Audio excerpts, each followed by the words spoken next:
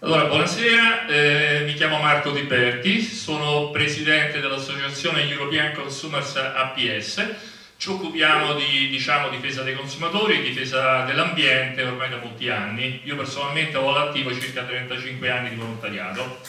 Eh, sono anche diciamo, laureato, eh, diciamo, eh, una, ho una laurea, sono un agrotecnico laureato, ecco facciamo bene e quindi diciamo, sono, eh, diciamo, mi occupo sia della difesa diciamo, delle foreste, eh, degli ecosistemi ripariali, ma eh, diciamo, da molti anni facciamo anche pubblicazioni scientifiche per una corretta alimentazione. Tendenzialmente noi siamo per prodotti eh, biologici certificati, di certificato vero biologico, che anche intorno al biologico ci sarebbe da dire, e, e poi siamo anche ovviamente per una filiera al 100% italiana. Allora, eh, in questo incontro eh, vi andrò a parlare per l'appunto di come si imparano a leggere le etichette, perché il consumatore medio normalmente si ferma alle figure, alle immagini, i titoli, insomma i sottotitoli sì e no. Vi faccio un esempio classico, prima di entrare proprio nello specifico. Ehm, ad esempio, nella, eh, in determinate confezioni, eh, ultimamente ci sono molte pubblicità ingannevoli, pubblicità ingannevoli che sono reati penalmente sanzionabili. Eh, faccio l'esempio, eh, questo prodotto eh, non contiene glutine, senza glutine, senza, se siamo fortunati, senza OGM, che peraltro se, se ci sono sopra lo 0,9 devono essere riportati in etichetta, lo dice la legge, eh, non contiene olio di palma e quindi voi vi sentite tranquilli e invece non, non, dovreste fermarvi a quello che non contiene. Questo succede sia nei prodotti alimentari come anche nei cosmetici. Dovete andare sempre, dico sempre, anzi soprattutto in questi prodotti dove dice non contiene questo, non contiene quest'altro, dovete sempre andare a vedere cosa contiene. Volete pure sapere che cosa contiene, cosa andate a mangiare, no? Ecco, normalmente quasi sempre, ehm, perché poi noi facciamo anche delle indagini a tappeto nei vari supermercati, eh, quasi sempre quando c'è scritto non contiene olio di palma, puntualmente c'è scritto grassi vegetali, che può contenere di tutto, e soventemente c'è l'olio di colza, che per quello che mi riguarda può andare bene giusto per, per i, i, i, trattori, insomma, ecco per capire. Per cui controllare sempre l'etichetta, sempre.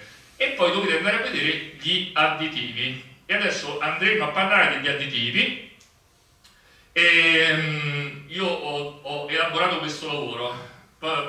Prima i motori di ricerca, quelli ufficiali, dove andare a prendere le informazioni. Eh, poi diciamo eh, quali sono i parametri di riferimento, eh, quali sono le, le, dosi minime e massime consentite per questi additivi, i vari regolamenti di riferimento europei e decreti di ricevimento, i regolamenti ancora, e, mm, la definizione delle categorie di tutti questi additivi a categorie e sottocategorie eh, e ancora ehm, quali sono gli additivi principalmente pericolosi che magari possono essere eh, tossici, genotossici, cancerogeni, interferenti endocrini, interferenti endocrini più diciamo in un contesto di pesticidi, diciamo genotossici eh, o neurotossici tutti questi additivi sono consentiti a livello europeo. Alle volte in alcuni stati europei vengono vietati e in altri stati continuano a darli.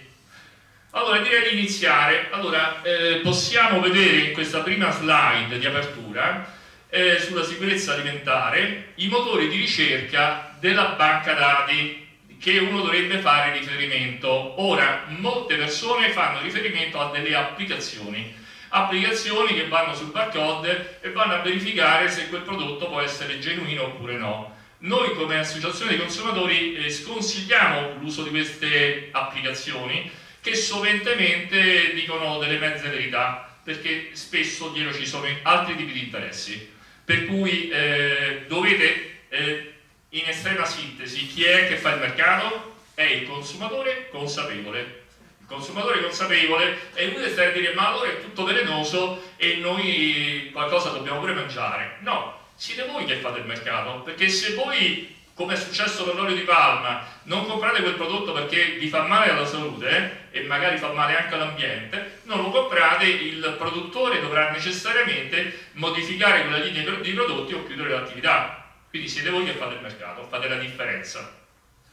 Quindi i motori di ricerca dove andare a cercare gli additivi, quindi prima cosa andate a guardare l'etichetta, andate a vedere l'etichetta dietro il prodotto, se è scritto in piccolo, è scritto magari in bianco con lo sfondo giallo, non è leggibile. Esiste anche la lente che potete usare sul, sul cellulare, ma io tendenzialmente vi dico, se ci sono delle etichette non chiare, non leggibili, non comprate il prodotto, non vi sforzate, lo lasciate lì, perché già lì c'è una chiaramente un intento truffaldino per tenere nascosti degli additivi alimentari. I, i motori di, di, ricerca principali, gli importanti, dove andare a caricare eh, il nome eh, diciamo, chimico eh, del prodotto, molto importante, andate a farlo sull'ECHA, eh, questo è il sito importantissimo, echa.europa.eu e .it, insomma questi adesso poi eh, più tardi possiamo fare delle prove proprio, centriamo, vi faccio vedere come funziona il motore di ricerca, approvate i dati sulla privacy, mettete il nome e, e da lì vi, vi, dirà le prime tipologie, le prime note caratteriali di quel prodotto, continuate nella ricerca e vi dirà le classi di pericolo, vi dirà esattamente se è un prodotto che può far male alla salute. Quindi c'è questo ECH che è il portale europeo di riferimento proprio della, della del regolamento RASD, quindi dell'ente europeo che si preoccupa della salute dei cittadini. Quindi è quello dove tutti gli stati europei fanno riferimento. Poi abbiamo il PubChem, PubChem che è un altro ente che è internazionale eh, perché magari sulle CH dove noi spesso ci interfacciamo e diamo anche delle informazioni che loro recepiscono per fare aggiornare delle classi di pericolo, già delle volte lo abbiamo fatto come associazione, ma non sempre eh, magari un sito magari mette delle sostanze tossiche e un altro sito non lo fa o magari non hanno aggiornato il database. E allora a quel punto andiamo anche a cercare su altri portali di riferimento come il PubChem eh, che ripeto è estremamente diciamo, importante, eh, diciamo, è, il PubChem è, è americano, poi abbiamo il PubMed che è un sito di riferimento sempre europeo, altro altrettanto importante, quindi cercate di verificarli tutti. Se uno magari vi dice che quel prodotto non è tossico, eh, non vi fermate a quel prodotto. Sempre che, che ah, poi ecco, un attimo che ci arriviamo, ce n'è un altro ancora che eh, si chiama eh, www products eh, numeri CAS. Cosa sono i numeri di CAS? Dopo lo andremo a vedere nel dettaglio. Il numero di cassi identifica quel prodotto senza se e senza ma, perché un prodotto magari ce ne possono essere taluni che sono molto simili, che la formula varia di poco, magari il nome commerciale che è quasi del tutto identico, eh, con il numero di casse è quello, è come se aveste il DNA di quel prodotto, non si può sbagliare e sono numeri internazionali, vari a livello internazionale, poi adesso lo andremo a vedere nel dettaglio. Eh, e ancora c'è la nostra pubblicazione dell'Associazione European Consumers, abbiamo fatto questa pubblicazione in continuo aggiornamento su tutti gli additivi alimentari, i più, diciamo, i più pericolosi, li abbiamo riportati eh, diciamo, in questa pubblicazione, eh, dove voi potete anche vedere, sapere in quali prodotti sono presenti questi additivi e anche in che concentrazioni. Eh, allora, quindi andiamo a vedere DGA, dose giornaliera ammissibile. La DGA è la dose giornaliera ammissibile, cioè la quantità che in base al peso corporeo una persona può assumere quotidianamente anche per tutta la vita, senza rischi individuali allo stato attuale delle conoscenze. È espressa in microgrammi chilogrammo di peso corporeo, si calcola dividendo la quantità massima di un individuo una che eh, una cavia può ingerire senza danno per un fattore di sicurezza abitualmente 100 Ora, questo è quello che dice l'EFSA, quello che dice l'ente di riferimento europeo, eh, che diciamo alle volte è un po' permissivo, ecco, mettiamo così, permissivo anche per andare un po' incontro alle multinazionali. Eh, diciamo alle volte più attento, alle volte un pochino più, oh, un po' più largo nel, nel, nel, nel permettere determinate sostanze. Perché? Perché l'EFSA, come abbiamo precisato, valuta la tossicità dei coloranti eh, ignorando l'effetto tossico correlato all'assunzione quotidiana di altri eh, additivi, coloranti e non soltanto coloranti.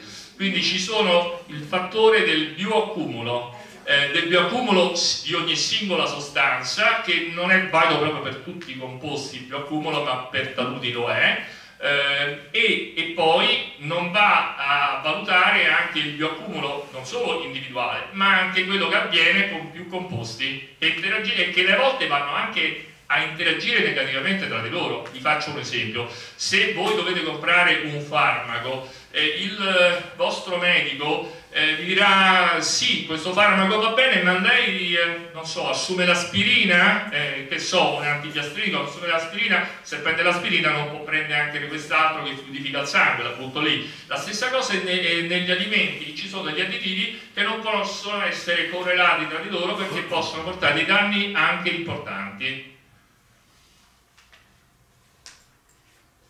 Quindi il numero di casse di cui vi parlavo prima, che identifica quel prodotto, il numero di casse è una designazione numerica assegnata alle sostanze chimiche eh, dal servizio degli estratti chimici degli Stati Uniti, per appunto il CAS, è uno dei metodi più utilizzati al mondo. Chemical Abstract Service è un dipartimento dell'American Chemical Society e gestisce un database di composti e sequenze chimiche. Al momento il database GAS contiene oltre 55 milioni di composti chimici diversi, sia inorganici che organici. È una designazione internazionale affidabile assegnata alla sostanza specifica in diverse nomenclature e discipline approvate dalla scienza, dall'industria e dagli organismi di regolamentazione ai composti chimici viene assegnato un numero di casse ai fini della loro identificazione. Eh, quindi io premetto, eh, poi vi farò vedere degli esempi commerciali, anche con diciamo, dei, eh, dei loghi registrati, tra virgolette, di prodotti commerciali che trovate nei supermercati, Ovviamente sono tutti autorizzati a essere, eh, a essere in commercio, malgrado contengano degli additivi eh, che possono essere preoccupanti per la salute, eh, perché ovviamente l'EXA, l'organo per l'appunto di riferimento del governo italiano, eh, gli permette in, in, in, determinate concentrazioni, quello che dicevamo prima, il DGA, dose giornaliera ammissibile, gli permette di, di usare questi prodotti, questi additivi. Noi come associazione di difesa dei consumatori chiaramente consigliamo ai consumatori di prendere eh, prodotti alimentari che non contengano proprio gli additivi o se al limite li contengono in concentrazioni minimali e preferibilmente di origine naturale, ma non tutti gli additivi naturali necessariamente sono tossici, perché anche qui bisogna fare un distinguo. Allora, il regolamento di riferimento, il regolamento CE numero 1333-2008 e il decreto ministeriale di ricevuimento 31-3-1965 regolano gli additivi alimentari. Ora, il regolamento CE di per sé è stato realizzato molto bene, non è, non è diciamo, molto permissivo eh, o quant'altro. Eh, il problema è che poi ci sono regolamenti che subentrano dopo che vanno a inficiare il lavoro pregresso e, pur, e purtroppo quasi sempre sono peggiorativi. Quindi bisogna anche, anche, della base cercare di aggiornarlo con i tempi in, in relazione alle varie normative che subentrano nel tempo.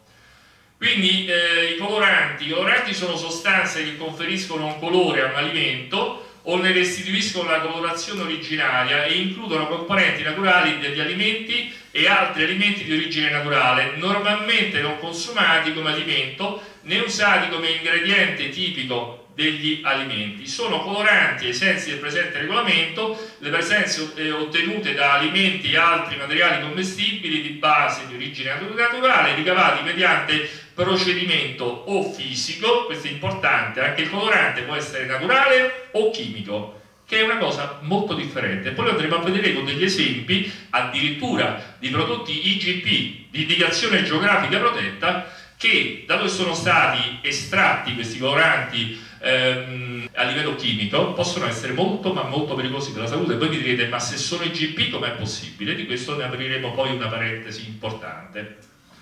eh, conservanti sono sostanze che prolungano la durata di conservazione degli alimenti proteggendoli dal deterioramento provocato dai microorganismi e dalla proliferazione dei microorganismi patogeni.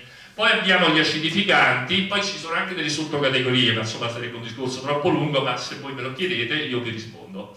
Eh, gli acidificanti sono sostanze che aumentano, vi ho detto, l'acidità di un prodotto alimentare e conferiscono in esso un sapore aspro. Gli antiossidanti, che fanno parte più o meno della stessa categoria, questa è una sottocategoria, sono sostanze che prolungano la durata di conservazione degli alimenti, proteggendoli dal deterioramento provocato dall'ossidazione, come l'irrancidimento dei grassi e le variazioni di colore. Anche qui abbiamo degli additivi più o meno pericolosi.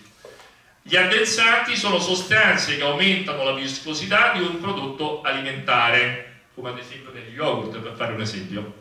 Eh, gli emulsionanti sono sostanze che rendono possibile la formazione o il mantenimento di una miscela omogenea di due o più fasi immiscibili, come olio e acqua, in un prodotto alimentare. Poi abbiamo gli agenti gelificanti, sono sostanze che danno consistenza a un prodotto alimentare tramite la formazione di un gel.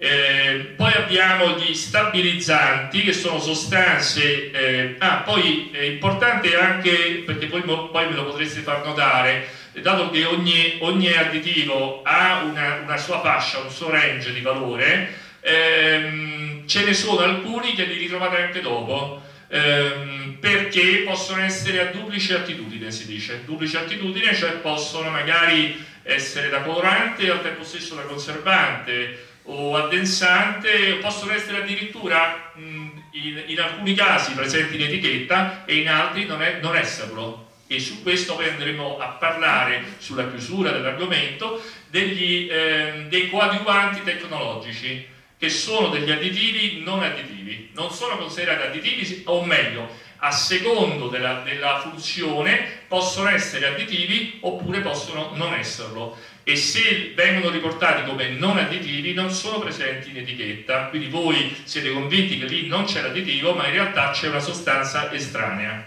magari in concentrazioni minimali ma anche quelli sono eh, in studio. In Italia sono consentiti, in Francia sono vietati, o meglio sono regolamentati, devono essere presenti in etichetta. Eh, quindi gli stabilizzanti sono sostanze che rendono possibile il mantenimento dello stato fisico-chimico di un prodotto alimentare. Gli stabilizzanti comprendono le sostanze che rendono possibile il mantenimento di una dispersione omogenea di due o più sostanze immiscibili di un prodotto alimentare. Esaltatori di stabilità sono sostanze che esaltano il sapore e o la fragranza esistente eh, di un prodotto alimentare. E infine, eh, insomma, è saltato disabilità tipo il classico dado, perché dire anche per faccio un esempio. Eh, gli edulcoranti sono sostanze utilizzate per conferire un sapore dolce agli alimenti o come edulcorante da tavola. Ora, questa è una tabella molto importante, veramente importante, che, eh, di riferimento per, per, tutte le categorie per l'appunto degli additivi. Poi ci sono delle sottocategorie che adesso non andremo ad affrontare eh, se non forse nelle slide successive qualcosa. Allora, E100, e adesso dirò anche che cosa significa questa E, che cosa significano i numeri che seguono, progressivi. E100 da E100 a E199 possono essere solo e soltanto coloranti, migliorano l'aspetto di bevande e alimenti vari, quindi quando voi sull'etichetta trovate un E, a seguire, dopo le E c'è un 1, e1 è un colorante, non può essere un'altra cosa. E200, e E200, da E200 a E299 abbiamo a che fare con i conservanti che rallentano bloccano le alterazioni provocate dai microorganismi. Poi abbiamo dagli E300 agli E399 abbiamo gli ossidanti e regolatori di acidità che impediscono i processi di irrancidimento dei grassi e l'ingludimento di frutta e verdura. Da E400 a E499 abbiamo gli addensanti, gli stabilizzanti e gli emulsionanti. Da E500 a E599 abbiamo gli antiagglomeranti, poi ci sono anche delle sottocategorie, ma insomma tendenzialmente. Poi anche gli stessi antiagglomeranti, se vogliamo, sono una sottocategoria degli, sta degli stabilizzanti. Mm, diciamo facendo un discorso un po' però più complesso, io mi limiterei a questi gruppi al momento. Da S100 a S199 abbiamo gli esaltatori di sapidità che esaltano il sapore e la fragranza di un prodotto. Da I900 a I999 vari, vari perché poi andremo a vedere, diciamo ce ne sono di varie tipologie e vanno anche a ripetersi quelli che abbiamo già detto. Eh, poi abbiamo i dolcificanti, gli agenti schiumogeni eh, che quindi evitano la schiuma, ecco, come ad esempio nei succhi di frutta per dirne una eh, gas per confezionamento, ecco come ad esempio, la, vi faccio un esempio X, la classica insalata eh, che trovate nelle, nelle buste, usano il gas di confezionamento, normalmente sono insalate, c'è sempre scritto di, eh, che sono lavate e quant'altro, quelle anche se le lavate sono insalate che è meglio evitare. Eh, quindi prediligete, cioè, spendete un po' più di tempo in cucina e cercate di comprare preferibilmente verdura a chilometro zero e sapendo anche il chilometro zero dove lo andate a comprare, perché altrimenti vi fate male ugualmente. Ehm, quindi abbiamo gli E1000 da E1000 a 1999 che sono gli agenti di rivestimento, gli umidificanti, gli enzimi e gli amidi. Nota, nel gruppo tra E1000 e 1999 sono riportati in un numero progressivo nuovi addensanti, emulsionanti e stabilizzanti, perché chiaramente nel tempo usciranno nuovi prodotti e non possiamo tornare indietro. Quindi si va a salire in termini cronologici. Quindi diciamo che noi identifichiamo tra il 1000 e il 1999 come, come diciamo, aggiuntivi, come nuovi gli agenti di rivestimento, gli umidificanti, gli enzimi e gli amidi. Vi faccio un esempio di agente di, di rivestimento a duplice attitudine.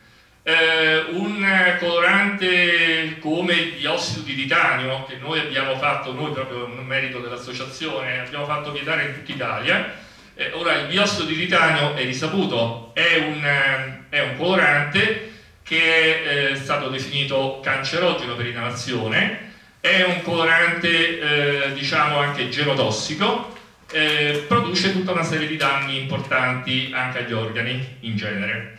Ora, eh, si sapeva già che era cancerogeno per inalazione, ma ehm, si è permesso per lungo tempo di usarlo negli alimenti come sbiancante quindi, eh, e si può trovare anche come agente di rivestimento, quindi ha duplice attitudine, quindi è sia sbiancante che come agente di rivestimento. E dove lo vanno a mettere? Puntualmente nelle, nelle, nei prodotti che vanno a contatto, che usano i bambini, eh, tipo caramelle, confetti, queste cose qui, insomma e cose di questo genere, puntualmente sono presenti lì. Scusate, vi faccio una piccola parentesi che eh, esce dal contesto della giornata odierna, fate attenzione, poi magari faremo una, una, una, serata, se vi fa piacere, anche sui cosmetici e anche sulle vernici e sui detersivi, abbiamo fatto numerose pubblicazioni scientifiche, ma ad esempio il biossido di titanio voi lo trovate anche nelle vernici, e le vernici che poi andate a dare dentro casa, le tinte lavabili per capire, e quelle chiaramente poi nel tempo spolverano, oltre che sono eh, in nanoparticelle, quindi se vi finiscono addosso mentre state dando la tinta, quelle vanno direttamente in circolo e sono cancerogene.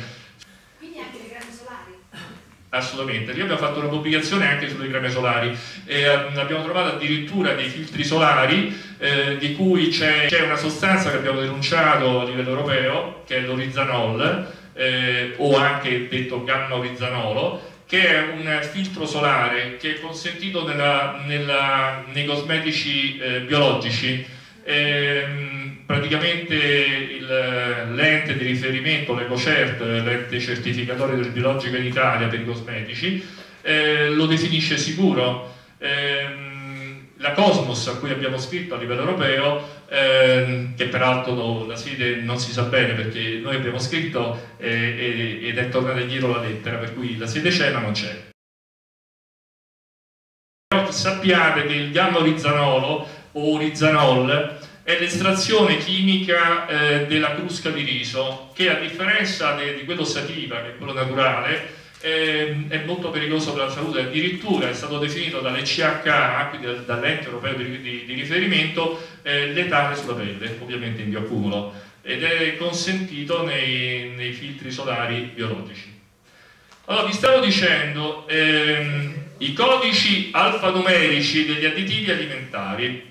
Quindi eh, nell'Unione Europea tutti gli additivi alimentari sono identificati da un numero proceduto dalla lettera E, quindi tutti gli additivi, nessuno escluso, la prima cosa che trovate è la lettera E e raggruppati a secondo della loro funzione, tali codici alfanumerici di caratteristiche, eh, di, caratteristiche di sostanze eh, le, ehm, di caratterizzare le sostanze, identificarle in base alla funzione e alle caratteristiche. Il primo codice, seguente alla lettera E, si riferisce alle categorie d'uso della sostanza.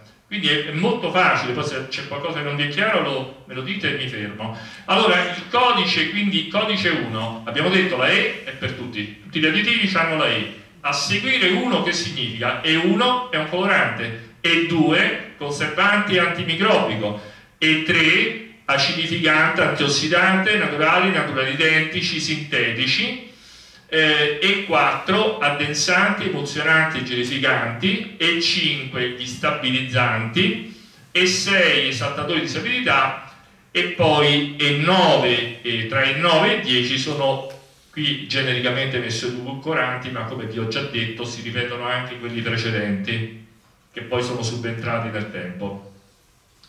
Ora andiamo a vedere, eh, sempre nel, abbiamo detto che i coloranti sono E1, e1, il numero successivo per i coloranti a E1 dà il colore. Quindi se abbiamo a che fare con un E1 0 è giallo, e, e, E11 arancio, E12 sarà rosso, blu, verde, bruno nero, naturali, vari colori, bianco, metallizzato, minerale.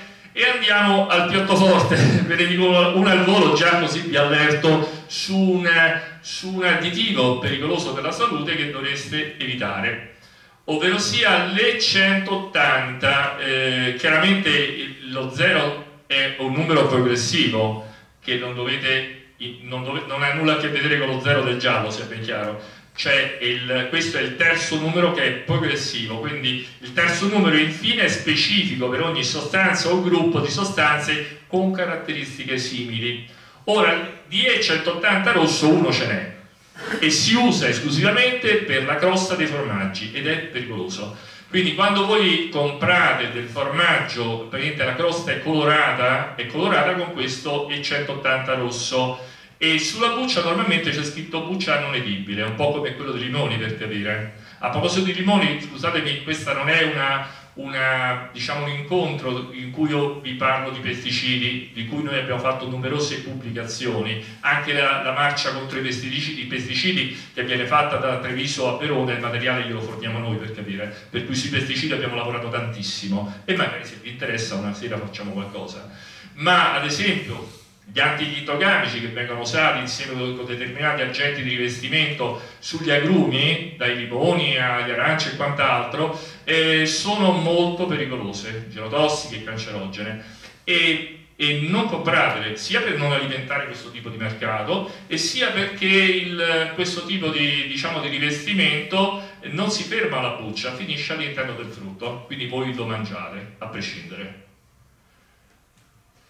Allora, mm, se metto a parlare di pesticidi poi non finisco più perché ci sono delle cose, faccio l'esempio le fragole, che adesso in questo periodo non comprate fragole che non siano biologiche, rigorosamente biologiche, se no vi fate molto male, soprattutto per i vostri figli, perché sono stati ridati dei prodotti in deroga molto pericolosi. Allora, ehm, comunque ripeto, se siete interessati poi magari una sera la dedichiamo ai pesticidi. Coloranti ai del DM 27 febbraio del 96, i coloranti sono sostanze che conferiscono colore a un alimento o ne restituiscono la colorazione originaria e possono essere di origine chimica o naturale. Alcuni di essi sono di origine artificiale ed hanno inquietanti profili tossicologici. Dei 40 coloranti alimentari autorizzati, 10 sono di origine vegetale o animale, 6 sono minerali e i restanti sono sintetici, che sono i più pericolosi non è consentito addizionare coloranti ai seguenti alimenti. Poi mm, forse uno dovrebbe usare il condizionale, qui sarebbe più esatto, perché poi qui ci sono una serie di regolamenti che hanno aperto delle, delle finestre, dei varchi pericolosi. Quindi quali sono questi alimenti? L'acqua, lo zucchero, il miele, il latte, lo yogurt, il pane, la pasta, la carne, il, la carne qua già entriamo in ambiti diversi perché poi magari eh, si potrebbe usare eh, sotto un punto di vista, eh, ma per questo solo per le carni eh, elaborate, lavorate, e quindi cercate sempre di prendere cose tal quali, non prodotti particolarmente che sono stati elaborati in un certo modo, tal quali per capire, altrimenti rischiate anche di finire nella carne separata meccanicamente di cui vi parlavo prima di iniziare questo incontro. Eh, quindi fate attenzione, sempre cose naturali, insomma, altrimenti possono essere presenti ad esempio i solfiti che hanno, se vogliamo, una duplice attitudine, nel senso che possono colorare la carne di rosso, eh, magari della carne che, che sta in uno stato pericoloso di avanzamento e non usano i coloranti, usano i solfiti. Ehm, quindi, ehm, e questo anche per il pesce ci sono delle eccezioni, ad esempio il salmone, per farne un esempio, i sottoprodotti del salmone sono, vengono spesso colorati con dei coloranti pericolosi. E quindi evitate di prendere salmone quantomeno che costa poco perché quasi certamente lo trovate presente, comunque deve essere riportato in etichetta. Ehm, e veniamo a uno dei piatti forti, così iniziamo con qualche, con qualche brand conosciuto, diciamo. Allora, noi abbiamo fatto una, una segnalazione con Revalanno uh, al consorzio, al consorzio IGP Aceto Balsamico di Modena. Abbiamo fatto una segnalazione al consorzio, abbiamo fatto una, una segnalazione all'ex ministero eh, quando non era ancora dalla sovranità eh, alimentare che stanno facendo le cose più incredibili, e, di alimentare non c'hanno nulla di sovranità, e, quando era ancora MIPAF. Allora, quando era ancora MIPAF avevamo praticamente fatto questa segnalazione, quindi al Ministero, per dire com'era possibile che in, che in prodotti IGP, di indicazione geografica protetta, ci potessero essere delle sostanze molto pericolose per la salute, addirittura cancerogene. E quindi abbiamo fatto questa segnalazione, io gli ho scritto personalmente come associazione, con tanto di PEC, nessuno ha risposto, nessuno ha ritenuto quantomeno dirci che so, eh, vi state sbagliando, guardate non è così, ma insomma nessuno, né del consorzio e né, della, e né del Ministero ha risposto. Abbiamo altresì scritto a diversi enti dei NAS, io normalmente mando a più enti, almeno che siamo sicuri che, che la notizia gli arriva, insomma, ecco i NAS a distanza di tempo mi hanno poi richiamato, mi hanno richiamato sotto ufficiale, ma io ho strette collaborazioni, varie volte li ho fatti intervenire per varie cose. E, e praticamente eh, mh, hanno riscontrato che effettivamente il problema c'era Paradossalmente può sembrare assurdo, mi è stato risposto che visto che si, si, è sempre fatto da sempre, le cose potevano andare avanti più o meno così. Non è che proprio l'hanno detto in questo modo, ma lo hanno fatto capire. Hanno fatto anche un approfondimento di indagine su un po' su tutti i posti eh, e hanno trovato questo prodotto. Premetto che, eh, allora, intanto vi, andiamo a leggere, E150D. Allora, intanto io voglio dire, cerchiamo di, eh, cerchiamo di capirci voi se andate a comprare un aceto balsamico IGP, desumo che andate a comprare un prodotto di qualità, un prodotto diciamo di qualità superiore. Eh, abbiamo già detto che l'aceto normale non può contenere coloranti, ma qui parliamo di un aceto eh, elaborato, che è un aceto balsamico, che è un'altra categoria. L'aceto balsamico, se voi andate a prendere un IGP, eh, vi aspettate un prodotto per capire se l'aceto è più scuro, prende quel colore bruno, significa magari invecchiato in botte di rovere, non so, la butto lì, e quindi ha, ha, preso quel colore. Ma se poi andate a vedere gli ingredienti, l'etichetta e trovate che c'è del caramello, allora dite, ma se c'è il caramello eh, significa che l'hanno colorato, quindi forse questo invecchiamento reale non c'è stato. Orbene, il caramello è consentito nell'IGP, quindi ci può stare ed è, eh, la sigla è E150, quindi se trovate E150 sarebbe meglio non ci fosse, ovviamente, soprattutto se andate a pagare parecchi soldi per, pagare, per poi prendere un, un, un additivo, insomma degli additivi, ma ci può stare.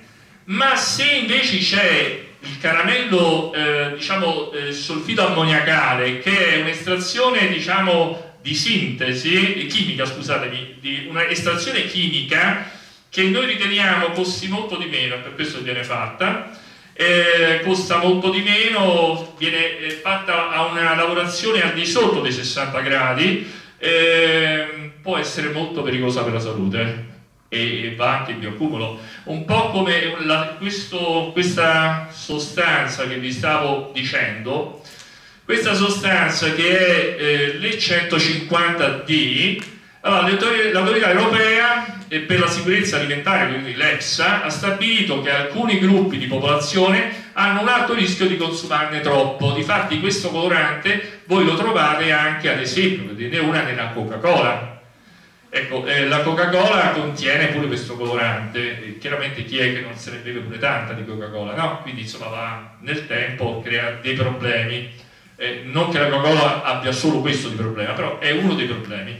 Eh, la Coca-Cola Zero, che in questa serata non ho portato diciamo, eh, i vari additivi che ci sono, credo sia in assoluto la, la, bibita più pericolosa attualmente sul mercato, eh, per pericolosità e quantitativo di additivi. Allora, tornando all'acido balsamico, è un possibile cancerogeno a causa di un N sottoprodotto, per capire, se voi andate nel motore di ricerca, che io prima vi ho fatto vedere, uno dei primi, le CHA, e mettete eh, il, il, numero di CAS equivalente al, e avete anche il sito di riferimento per i numeri di CAS che ho segnalato, e andate a mettere il numero di CAS equivalente a, che identifica le 150D non vi riporterà nessuna pericolosità di questo prodotto, è importante quantomeno, eh, non vi dirà che è cancerogeno. Quindi dovete sapere qualcosa di più a livello di chimica, tra virgolette, e cioè che eh, il sottoprodotto della lavorazione, dell'estrazione di questo aceto balsamico, di questo colorante di, chimico, eh, sviluppa, eh, rientra in una classificazione che è il 4 MEI 4 MEI che tra le 249 sostanze potenzialmente cancerogene per l'uomo eh, nel gruppo 2B eh, i 4 i 4 MEI provoca gravi ustioni cutanee, gravi lesioni oculari, è nociva per ingestione, è nociva a contatto con la pelle, provoca grave irritazione oculare, irritazioni cutanee, irritazioni respiratorie. Ehm, diciamo io qui in, questo, in queste slide, anche per cercare di eh, essere contenuto nelle esposizioni, qui l'ho scritto, il CHA eh, e anche Infocard diciamo come sostanza, mm, ma ecco sappiate che ogni cosa che è riportata qui chiaramente è tutta verificata e potete trovare tutti i riferimenti. Però noi sull'etichetta troviamo solo E150. No, se allora... Assolutamente, trovate, ma se voi sull'aceto balsamico IGP eh, e noi li abbiamo verificati, ce n'era uno solo, allora, vi faccio un esempio, qui vedete che c'è l'aceto balsamico di Modena GP 2 vittorie che è senza coloranti, di tutti quelli che noi abbiamo, eh, abbiamo ricercato in tutti i supermercati, eh, non credo che me ne siano sfuggiti altri, è l'unico senza coloranti. Eh, quindi è piuttosto preoccupante come IGP. Difatti noi consigliamo se dovete comprare o comprate questo, ma insomma non è che costa poco, ma alle volte è in offerta, eh, oppure comprate, se volete andare un po' più tranquilli, il DOP, d'origine protetta, vi garantisce di più dell'IGP. Eh, però ecco, ehm, quindi il Ponti abbiamo fatto soltanto un, punto, un, un riferimento, ho voluto mettere un esempio, il Ponti non è l'unico che contiene il 150D. Praticamente quasi tutti gli aceti balsamici IGP sul mercato contengono il 150D. Quindi se voi leggete 150D, alle volte non è neppure riportato il 150D, alle volte è riportato solfito ammoniacale, che è la stessa sostanza.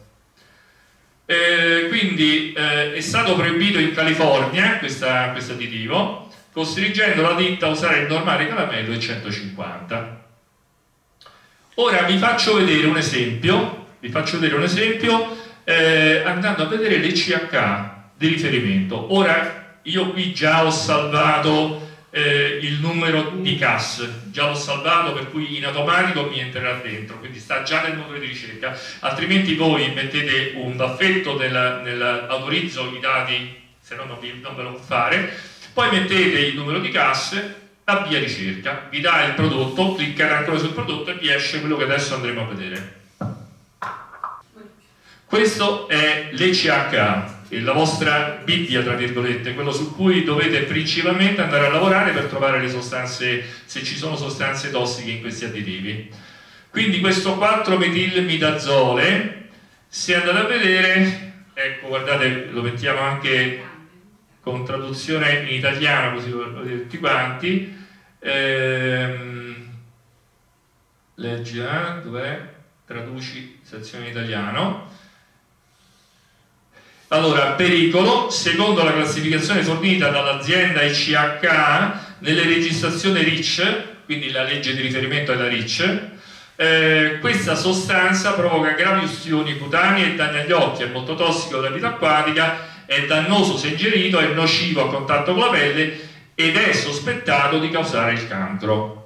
Allora, è importante, eh, in molti motori di ricerca troverete allegato 3. Allegato 3 è un altro dato importante che dovete conoscere, significa che è sospettato. Sospettato, cioè ci sono degli studi che hanno individuato che può essere genotossico, che può essere cancerogeno. Normalmente quando sta scritto sospettato è cancerogeno.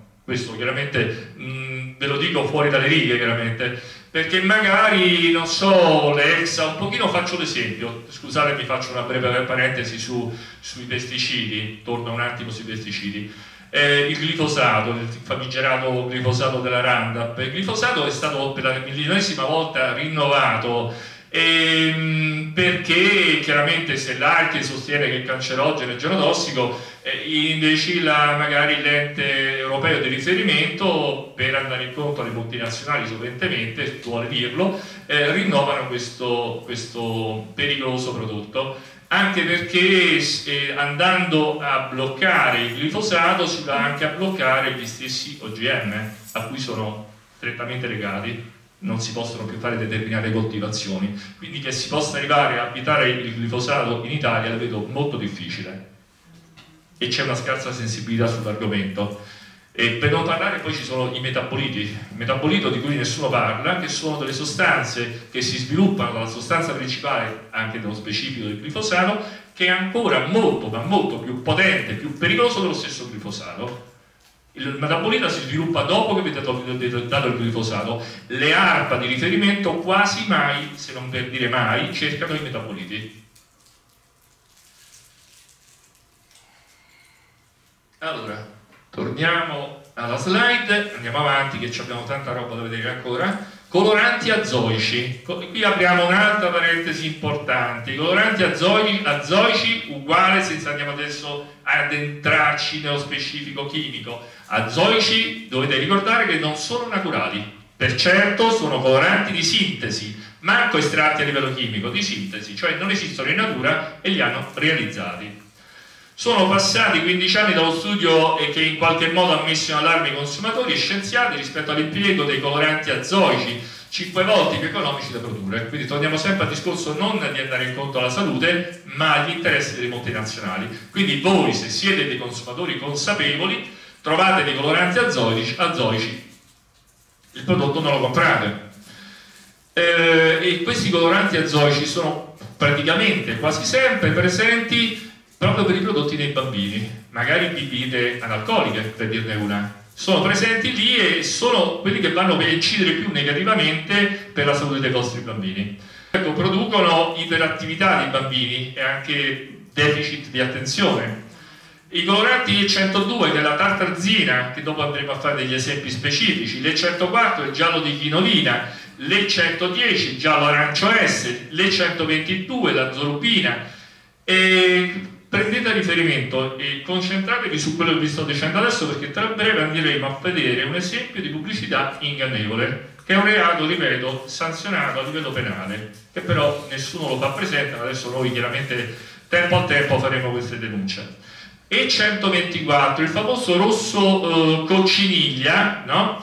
eh, da non confondere con l'E120 naturale Ora l'E120 naturale, che è l'estratto della cocciniglia, del, o meglio, l'estratto di quello che la cocciniglia elabora, non andate a mangiare l'insetto se non per qualche contaminante, che è un'altra cosa. Ma l'E120 è naturale e crea sempre dei problemi di attenzione del bambino, ma è naturale ed è forse uno dei meno problematici mentre l'E124 rosso cocciniglia è quello sintetico, quello creato in laboratorio ed è molto pericoloso. Orbene, questi fenomeni delle multinazionali, di queste bibite che adesso andremo a vedere molto famose, hanno tolto il, il rosso cocciniglia naturale e quindi voi mi direte, meno male, andiamo a vedere se è veramente da esserne felici.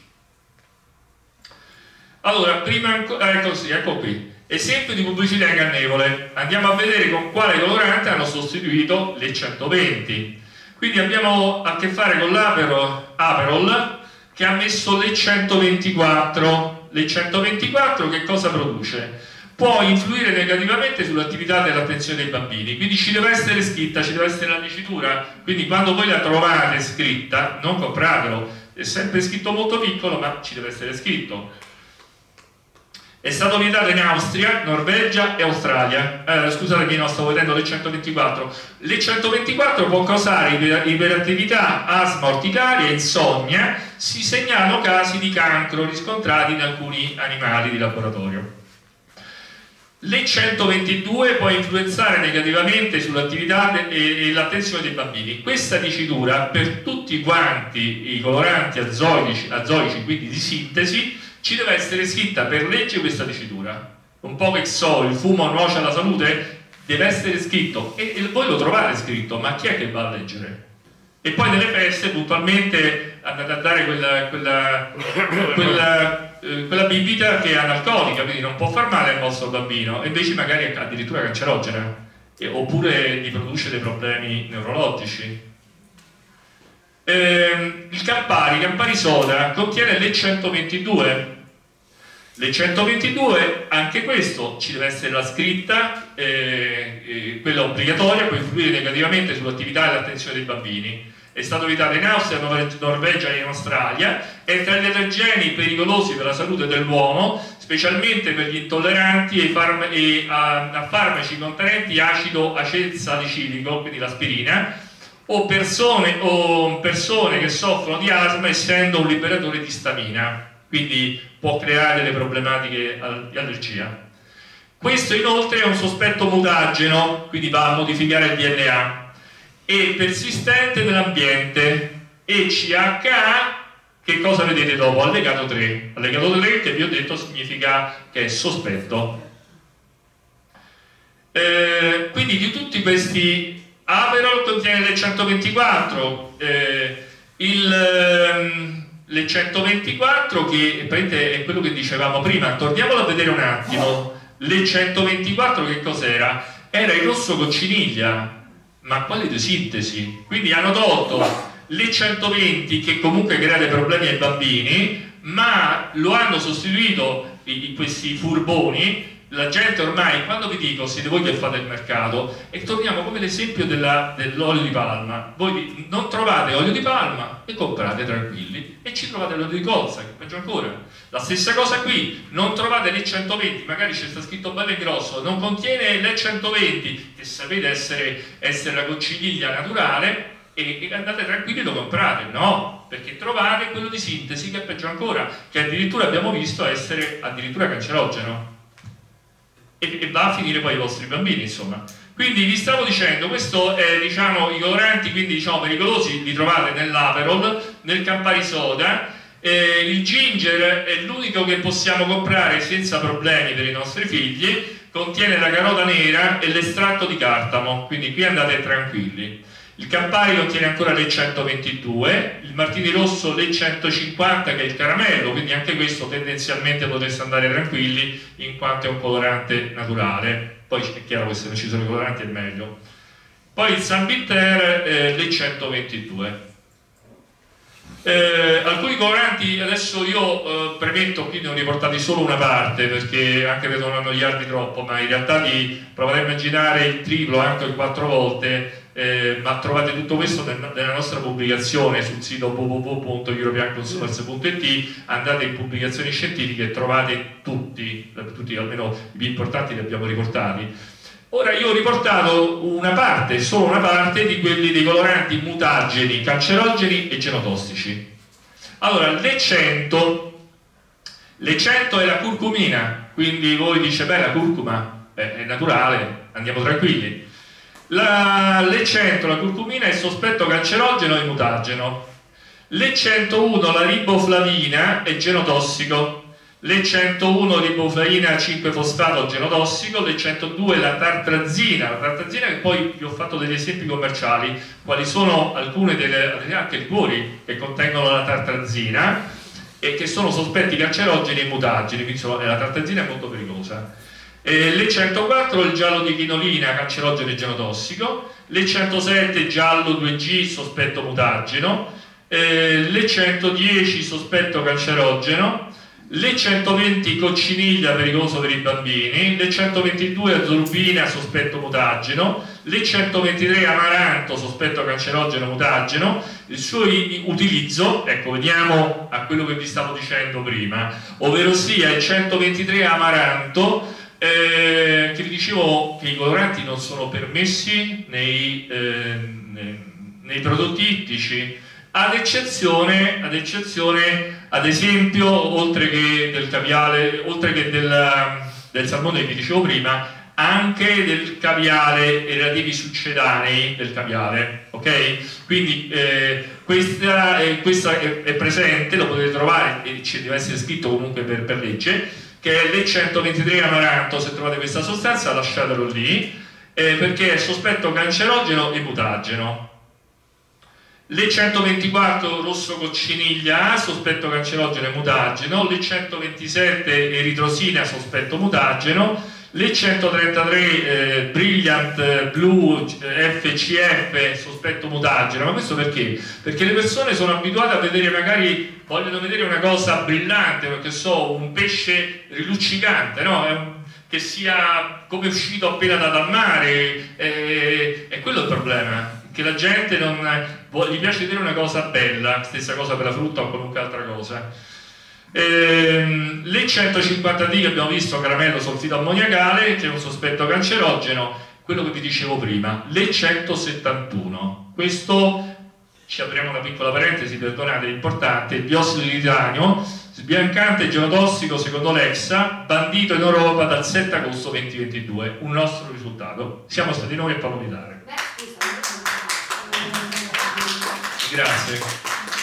Però, malgrado abbiamo fatto vietare, eh, la, la, legge, eh, no no, è stato, è stato, non viene più prodotto, eh, però noi riteniamo, anche perché abbiamo fatto i nostri controlli, eh, diciamo la legge è sempre un po' permissiva, nel senso fino al scioglimento scorte, per cui insomma eh, diciamo lo potete trovare ancora eh, nei, nei, bancali, diciamo, quindi prestate sempre attenzione, e quasi sempre presente i prodotti per bambini.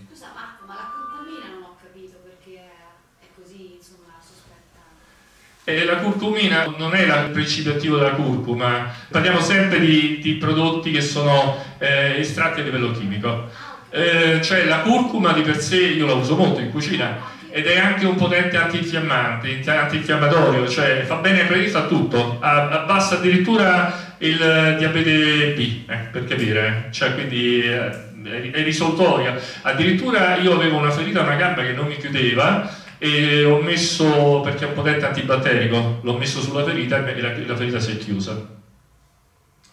E 180 lito, eh, lito, litorbulina BK, sospetto cancerogeno, quello che dicevo, le 180, eh, che è quel colorante che mettono sul, sulla crosta del, che po potete trovare sulla crosta del formaggio.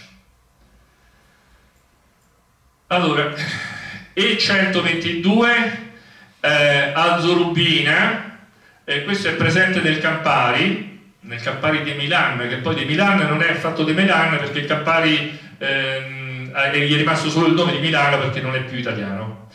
Eh, le 122 azzorubina può influenzare negativamente come abbiamo visto quindi eh, parliamo sempre di, di, quei coloranti azoici quindi di sintesi che parlavamo le 102 che è la tartrazina che oltre ad avere queste problematiche per i bambini è un sospetto cancerogeno e mutageno, sospetto rischio di cirrosi delle vie biliari primarie delle donne in post-menopausa, induce neurotossicità e deficit dell'apprendimento e di memoria, alterazioni istologiche e cellulari dei tessuti del fegato e dei reni, L'uso della tartarzina è proibito in Austria, Svizzera, Finlandia e Norvegia in Italia come al solito è ancora consentito.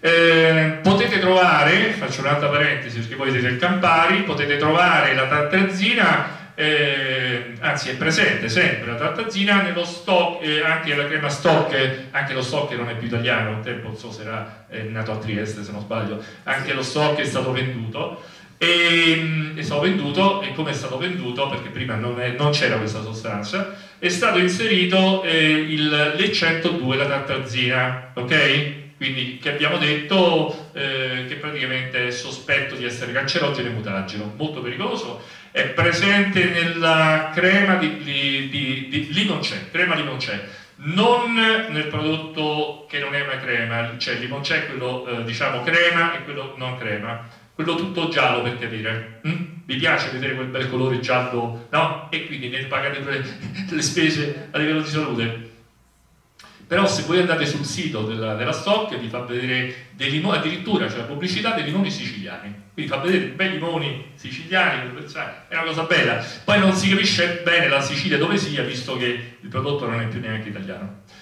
Eh, L'E133 deriva dal liquido della distillazione del carbone per ottenere il coke eh, secondo alcuni studi potrebbe essere dannoso per i bambini durante l'infanzia e quindi sconsigliato la somministrazione di alimenti contenenti tale colorante, può causare iperattività, nausea, orticaria, insonnia. È stato riscontrato che in concentrazioni eh, diciamo così elevate crea dei problemi, è un sospetto mutageno. Conservanti eh, antimicrobici, senso, conservanti quindi sono degli antimicrobici ai sensi del DM 270296 ehm, queste categorie sono compresi gli antimicrobici e gli antiossidanti.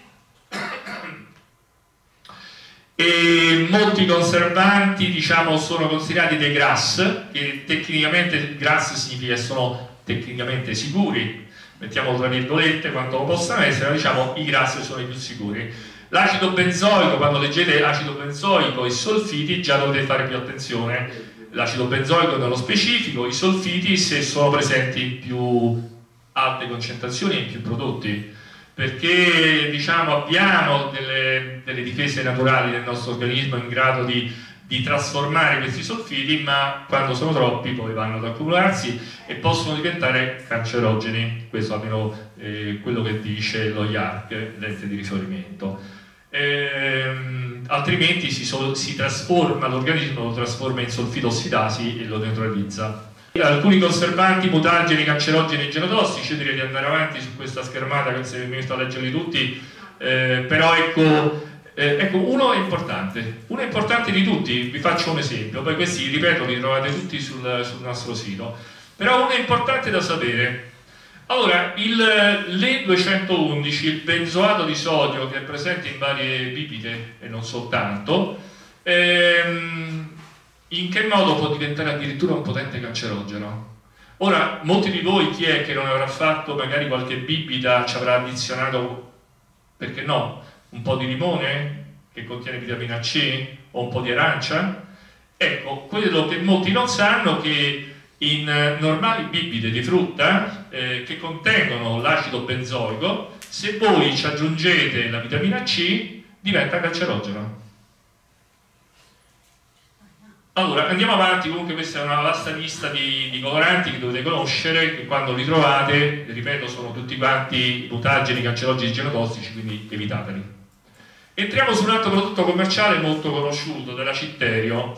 premetto, io faccio vedere queste immagini, ma eh, così come per la Citterio ci sono numerosi altri eh, prodotti di questa, di questa tipologia, che anche se magari non è Citteria un'altra marca contengono sempre sostanze additivi che possono essere pericolosi. e ribadiamo che sono comunque sostanze consentite dalla legge eh, in certe percentuali. Però l'EFSA, torno a ripetere non, un, non, tiene in considerazione il discorso del bioaccumulo di ogni singolo prodotto e, de, e, e, di quel prodotto insieme con altri prodotti. Faccio l'esempio, se voi andate a prendere dei solfiti eh, che sono presenti all'interno dei salumi, per dirne una, eh, se non ne mangiate molti di salumi, oltre che fanno male per altri motivi, ma insomma non ne mangiate molti, eh, solfiti ne mangerete di meno. Ma se poi magari bevete anche il vino, e anche nel vino è presente i solfiti, e nel vino bianco anche in concentrazioni maggiori rispetto al vino rosso. E quindi questi sono tutti fattori cumulativi di cui la, diciamo, il regolamento europeo non tiene in considerazione.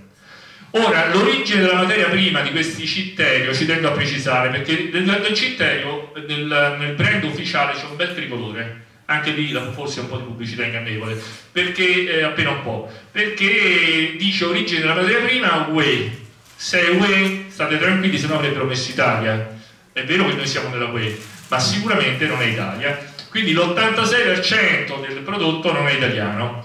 Ehm, contiene l'E 450 che aumenta il livello di fosfato delle pareti dei vasi sanguigni che costituisce un fattore di rischio cardiovascolare nei casi di insufficienza renale, compromette la funzionalità renale da moderato a grave. L'E451 sottrae il calcio all'organismo, il 250 nitrito di sodio è potenzialmente pericoloso perché può reagire con le ammine formando nitrosammine cancerogene. L'assunzione di alimenti contenenti nitriti provoca notevolmente riduzione dei linfociti T e B che comportano abbassamento delle difese immunitarie a livello umorale e cellulare non deve essere associato con l'acido sorbico e, e sorbati con cui forma sostanze mutagene. E questo è spesso un, un elemento che torna. Quindi abbiamo i correttori di acidità eh, e antiossidanti che sono presenti eh, diciamo in oli vegetali, grassi animali, spezie, frutta secca, e poi sulla frutta secca si aprirebbe tutta un'altra parentesi, un altro mondo e cioè sulle pericolosità di afla, afla, afla e ocratossine. Ecco, se vi posso dare un... anche lì abbiamo fatto numerose pubblicazioni scientifiche sulle aflatossine e le ocratossine che sono pericolosissime per la salute, veramente molto pericolose e sono, abbiamo visto anche in merito alle allerta RASP, abbiamo fatto i nostri grafici, li abbiamo su assi cartesiani, li abbiamo ricostruiti e le allerte RASP sulla presenza di ocratossine e di aflatossine presenti ad esempio nei fichi secchi, eh, la frutta secca in genere, non compratela, almeno questo è il nostro consiglio, poi fate come volete, ad esempio proveniente dalla, dalla Turchia, che per lo più quella tutta quella che trovate sui banchi, insomma, no? Eh, come vi potrei anche dire sul pesce, evitate il pesce spagnolo perché hanno altri tipi di allerta, cioè i discorsi sono piuttosto complessi. Eh, correttori di acidità, quindi questi abbiamo diciamo, tutti quelli che sono antiossidanti, mutageni, cancerogeni e genotossici, li trovate qui, quindi possiamo andare avanti. E facciamo un altro esempio commerciale, Conad, i gnocchi di patate, buoni gnocchi di patate, magari se li fate voi a casa vostra è meglio. Allora, cosa contiene? Questa è una cosa che ho scoperto io così andando in giro per i supermercati contiene l'E304 che è il palmitato di ascorbile, sospetto cancerogeno e CHA allegato 3. Allegato 3 come abbiamo visto è un sospetto.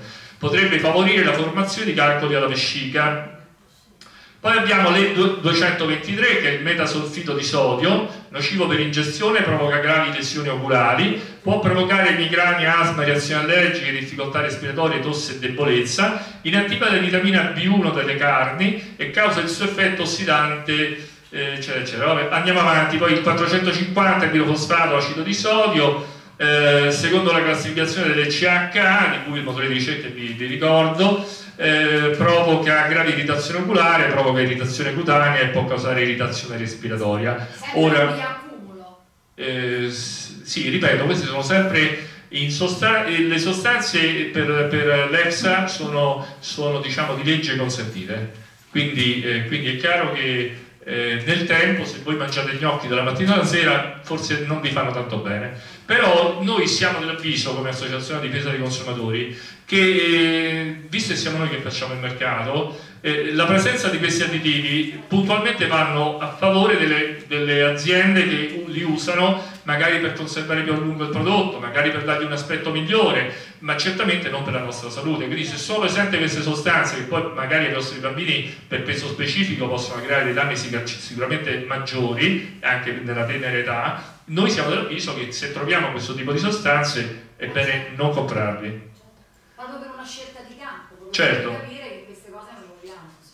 Passiamo a un'altra marca famosa, la Bonduelle. Ora la Bonduelle, io do un plauso alla Bonduelle, anche perché molti prodotti della Bonduelle, come ad esempio il mais, c'è scritto senza OGM, quindi insomma positivo, anch'io spesso compro Bonduelle, diciamo se non ho proprio prodotti biologici sotto mano, però abbiamo scoperto che la Bonduelle ha proprio recentemente messo sul mercato questi borlotti che noi sconsigliamo di comprare, anche perché magari adesso li mettono qui, poi magari li mettono anche da qualche altra parte, eh, hanno inserito due additivi nocivi per la salute. L'E385, che è il calcio di sodico ETA, rimuove i metalli dal corpo, può facilitare l'insorgenza di anemia, nocivo se inalato, può provocare danni agli organi, quindi una cosa grave, e in caso di esposizione prolungata e ripetuta. 509 provoca grave irritazione agli occhi. Ora chiaramente sostanze che voi dovete mangiare, l'irritazione agli occhi è relativo, insomma,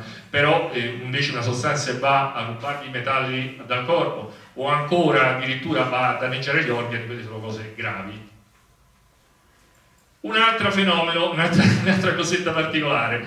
Allora, l'Ementos, questo è veramente un prodotto da evitare eh, risultato cancerogeno, quindi non è, eh, diciamo, non è sospettato, è risultato cancerogeno, che è un'altra cosa, dal 1991, però come vedete è in vendita e questi cioè, soprattutto... È in vendita? Sì, e soprattutto, soprattutto questi elementos chi è che non le compra per i bambini?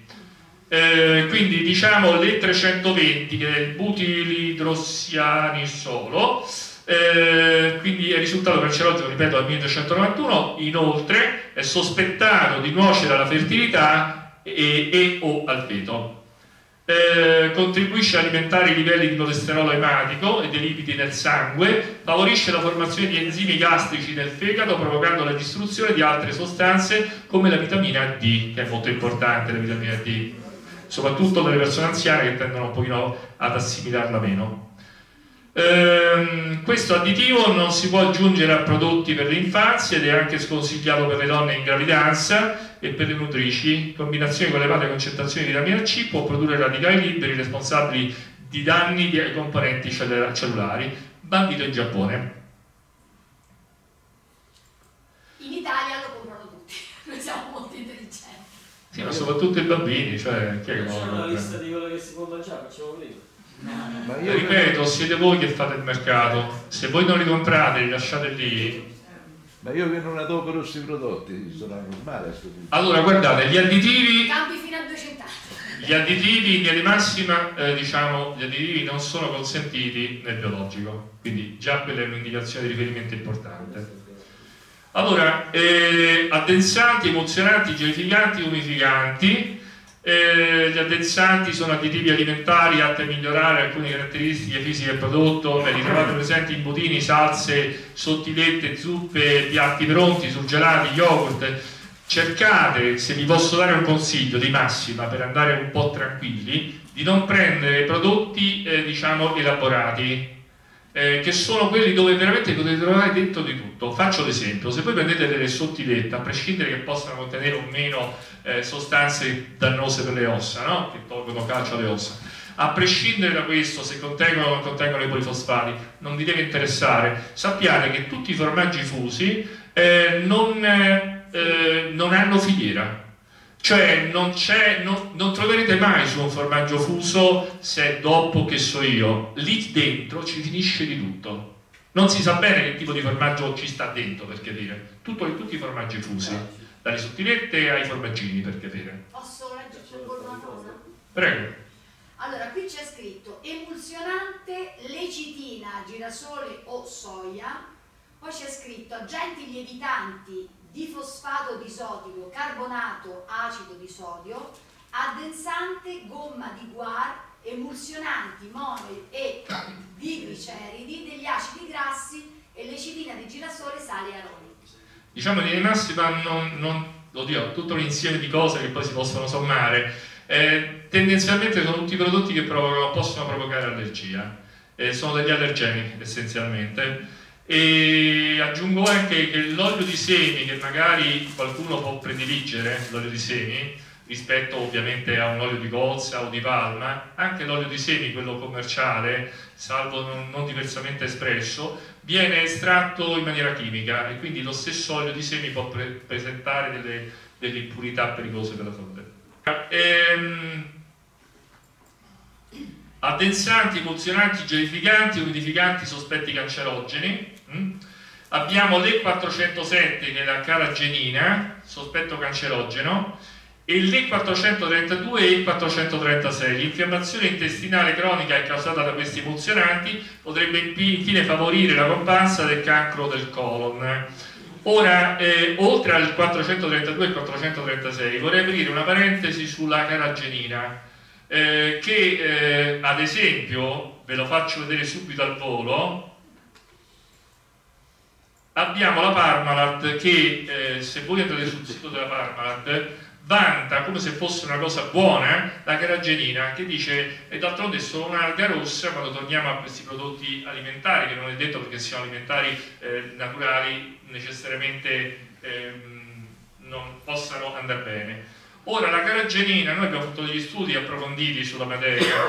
Loro la pericolosa? Assolutamente no. Andate sul sito ne parla quasi un po' come fa la, la Ferrero della Nutella che parla del, dell'olio di palma, bene, ecco, che praticamente non distrugge le foreste, non indurisce le arterie, fa bene alla salute. La stessa cosa fa la Parmalat per la caragenina, che in realtà è sospettata di provocare il cancro, eh, provoca gravi irritazioni oculari, è sospettata nel, nello specifico di provocare ulcere intestinali, eh, allergie, neoplasie intestinali e quant'altro. Quindi insomma non è da prendere. E questo è presente a, prescindere dalla Parmalat in quasi tutti i prodotti che voi trovate di panna montata. Panna montata, panna spray, tutte queste cose qui. Panna della centrale di Riedi basta leggere l'etichetta. Non, se, non, se, lei non ci trova scritto caragenina va tranquillo insomma sì normalmente è difficile che ci sia insomma ecco Ehm... Anche perché è fresca praticamente dopo due giorni. Esatto, certo, certo. Allora, poi andiamo a vedere un altro fenomeno particolare. Eh, le persone, la pubblicità ingannevole, vanno a vedere vita snella. Vita snella, si sentono già più leggere, già, già vanno in giro. No, noi ce l'ha detto Alessia Marcuzzi, no, non era Alessia Marcuzzi, vita snella, non lo so. ecco, Cosa, ah, no, no, perché no, questa è pubblicità ingannevole, è anche piuttosto grave. Se voi andate a vedere il sito della Danone, eh, trovate tutta pubblicità dove fa vedere i bambini contenti che corrono, portare la salute attraverso l'alimentazione al maggior numero possibile di persone. Questa è la mission di Danone, eh, con un'offerta unica di prodotti che rispondono ai bisogni specifici per tutte le età della vita. E fa vedere i bambini, no? Salutari, sostenibili. Se voi andate a vedere il sito eh, addirittura hanno delle certificazioni importanti per dichiarare che è ideale per i bambini. Vediamo se è veramente ideale per i bambini, insomma. Allora, contiene l'E407 che è ottenuto da due alghe rosse dell'Atlantico settentrionale, eh, è sospettata di provocare il cancro e provoca gravi irritazioni oculari, è sospettata di provocare ulcere intestinali. Alcuni ricercatori sostengono che le caragenine eh, possano provocare anche allergie e indebolire il sistema, quindi abbiamo sempre a che fare con le caragenine che abbiamo visto già nella panna.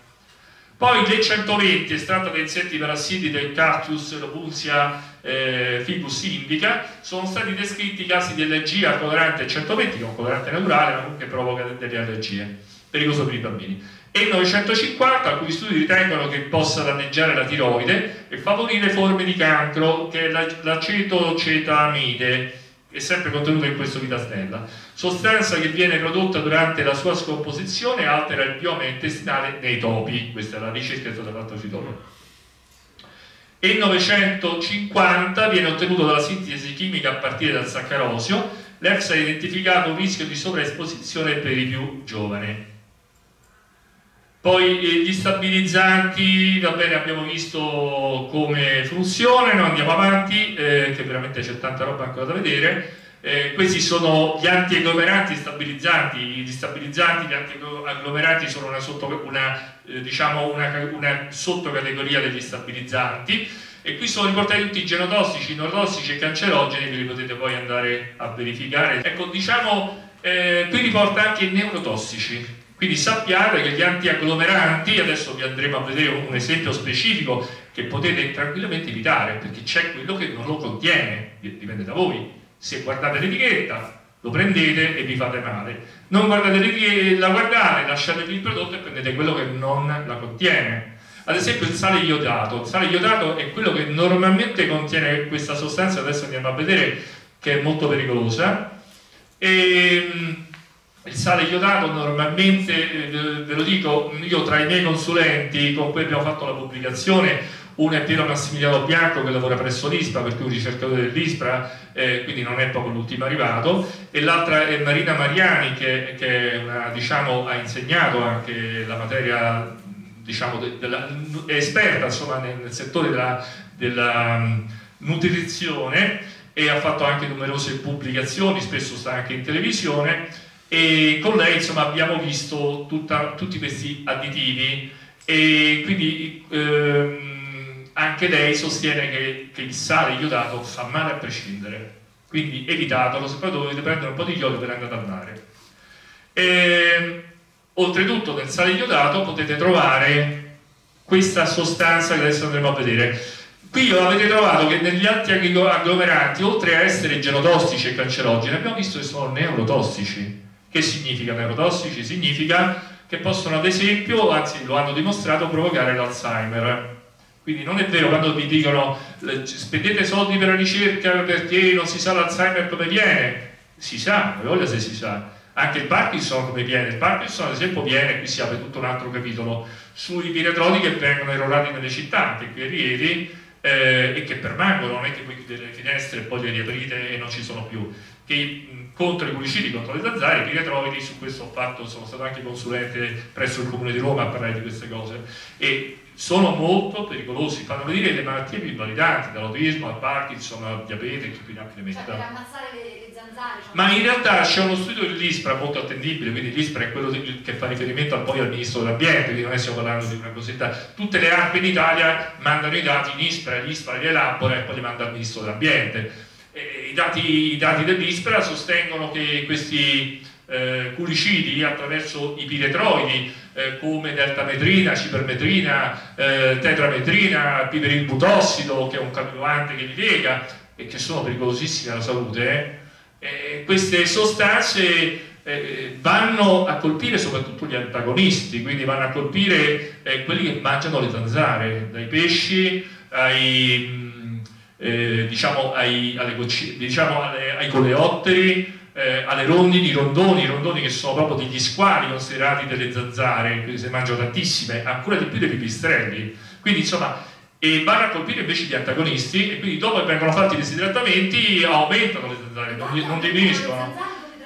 E aggiungo pure che la zanzara poi diventa resistente a queste sostanze e quindi anche più pericolosa e non ultimo, eh, non ultimo, va a colpire come bersaglio lo 0,1% della popolazione, dati ISPRA, quindi non uccidono. Eh, capito, questi dati l'ISPRA gli dà il Ministero, ma non capiscono niente lo stesso. Ma loro fanno ricerca, non è che iniziano a fare denuncia, fanno ricerca no, no, e vengono... dei dati che il Ministero dovrebbe insomma... Attenzionare quantomeno sul principio di precauzione, ma non lo fanno. Allora, eh, andiamo avanti, eh, vedete questo qui, questo antiagglomerante, stabilizzante e chelante, che è sia l'E535, questo è molto importante, vedetelo, eh, sempre se voi prendete il sale chiaramente, ferrocianuro di sodio è letale se ingerito o inalato, e l'E536 ferrocianuro di potassio, eh, il bioaccumulo è inevitabile, eh, dal momento che il sale iodato è sempre più frequente nella maggior parte dei prodotti alimentari. In Gran Bretagna l'aggiunta di questo antiagglomerante, quindi antiagglomerante lo lascia fluido per capire, eh, nel sale da tavola è vietata. Nota, queste sostanze sono tossiche se assunte allo stato puro, autorizzate solo in piccole dosi, 25 microgrammi per chilogrammo di peso corporeo, che chiaramente per i bambini diventa eh, discorso ancora più sensibile in base al peso corporeo. E chiaramente questo torniamo sempre al discorso che l'EXA non fa riferimento al discorso del bioaccumulo del tempo. Eh, esaltatori di stabilità, comprendono una grande famiglia dei glutammati derivati dall'acido glutamico e aminoacido diffuso in natura, possono avere numerosi effetti dannosi, ad esempio sulle ghiandole e la riproduzione. Andiamo avanti. Eh, questi sono gli esaltatori di stabilità genotossici, mutageni e cancerogeni. Quindi sappiate che non solo sono genotossici, mutageni e cancerogeni, ma sono la maggior parte degli esaltatori di stabilità sono di origine geneticamente modificata, sono OGM e quindi con tutti i punti interrogativi ivi correlati. Andiamo a vedere quindi uno di questi, eh, di questi esaltatori di stabilità che è presente in un prodotto commerciale molto famoso come la Simmental, ovviamente non è l'unico, eh. eh, l'S121 è glutammato monosodico, in passato era estratto in maniera naturale, adesso è OGM e per un'esposizione eccessiva alcune persone manifestano fenomeni allergici, mal di testa, capogiri, vampate di calore è sospettato di essere tossico per le cellule e causare anche episodi di stato confusionale, fenomeni asmatici. Dosi può interferire con i neurotrasmettitori e danneggiare, e danneggiare le funzioni cerebrali. Eh, sospettato in sinergia con altre sostanze di provocare ipertensione, favorire l'aumento del tasso ematico di colesterolo. L'Unione Europea ne esclude l'impiego degli alimenti per l'infanzia, quindi non date da mangiare mai ai vostri bambini la Simmental Simmental e insomma prodotti analoghi ovviamente. Eh, agenti di rivestimento, cere e i loro derivati, andiamo avanti. Eh, agenti di rivestimento mutageni, cancerogeni e, fa e fatali, fatali penso che chi è che non capisce questa terminologia. E comunque molti sono stati vietati a livello europeo, quelli che non sono vietati comunque sono sospetti di essere cancerogeni. Eh, ad esempio, L'E926, il cloropiossido, è una sostanza mortale se inalata, tossica se ingerita. E altre sono state evitate comunque. Andiamo avanti. Agente di rivestimento sbiancante per la farina. La famosa farina bianca 00 0 che sia. Agente di rivestimento sbiancante per la farina. L'E926, cloropiossido, distrugge la vitamina E può reagire con altre proteine della, della farina. La sostanza di per sé è mortale se inalata e tossica se ingerita, gra provoca gravi ustioni cutanee e lesioni oculari. E passiamo alle edulcoranti, e qui, ci, e qui, abbiamo anche una pubblicazione recente eh, che è stata portata avanti da un'università che, che, ha definito una volta per tutte l'aspartame come cancerogeno, quindi non è sospettato, è cancerogeno. E, e, sì, e, sì, è presente ad esempio dalla Coca-Cola, per dirne una, per cui insomma, e non soltanto dalla Coca-Cola. Ecco. Allora, eh, sono sostanze utilizzate per conferire un sapore dolce agli alimenti o come edulcoranti da tavola. Insomma, i più pericolosi che provocano eh, tumori all'apparato urinario, linfomi, leucemie, carcinomi, tumori del cervello, danneggia la tiroide, sono l'aspartame e la cinsulfame K. Eh, edulcoranti, mutageni e cancerogeni eh, abbiamo qui come vedete eh, adesso ecco senza che vi sto a leggere tutti abbiamo visto la saccherina è da precisare che è sospetto cancerogeno ma cancro alla vescica dei ratti quindi non è stato ancora riscontrato sull'uomo ma in linea di massima eh, le sperimentazioni le fanno per l'appunto sui topi per poi eh, verificare se fanno bene o male per la salute. Ora questa è un'altra un di, di quei prodotti eh, per i bambini che è veramente molto pericolosa, molto pericolosa e quindi vi attenziono a vederla, assolutamente a evitarla. E a cuore di fragola, quindi uno senza zucchero. Ecco, le persone leggono senza zucchero e magari contengono anche, che so, xilitolo che è anticarie, quindi insomma fa venire l'alito buono, insomma. Quindi direi che ci siamo... Poi c'è una bella fragola qui, c'è il cuore morbido di fragola. Siamo e 951, aspartame, sostanza che si prevede possa soddisfare i criteri per la categoria 1A e 1B di cancerogenità, mutageneità e tossicità per la riproduzione. Quindi è genotossico, mutagenico e cancerogeno. Abbiamo fatto una bella tripletta, insomma. Non gli manca niente. Poi l'E950, le sulfame K, secondo la classificazione fornita dalla società ICH, nelle notifiche CLP, questa sostanza provoca gravi irritazione oculare, provoca irritazione cutanea e può causare irritazione respiratoria. 955 il sucralosio provoca alterazioni metaboliche ai danni del macrobiota intestinale, identificato in un rischio di sovraesposizione per i più giovani. 341 un eccesso di fosforo sottrae calcio all'organismo induce rachitismo, eh, causa seri danni oculari. E 466 può aumentare la permeabilità intestinale, grandi concentrazioni possono causare problemi intestinali come gonfiore, costipazione, diarrea. Eh, un consumo regolare di eh, CMC e polisorbato 80 da parte dei ratti può alterare la flora batterica intestinale, conducendo a infiammazione e all'insorgenza di tumore al colon. E 422 in caso di dosi eccessive si registrano problemi di emicrania e nausea e, e 321 è sospettato di cancerogenità. Per cui in questo prodotto abbiamo un concentrato di, tra sospettati e, e reali prodotti eh, additivi cancerogeni e anche mutogeni e genotossici, per cui diciamo abbiamo proprio il clou del prodotto da evitare.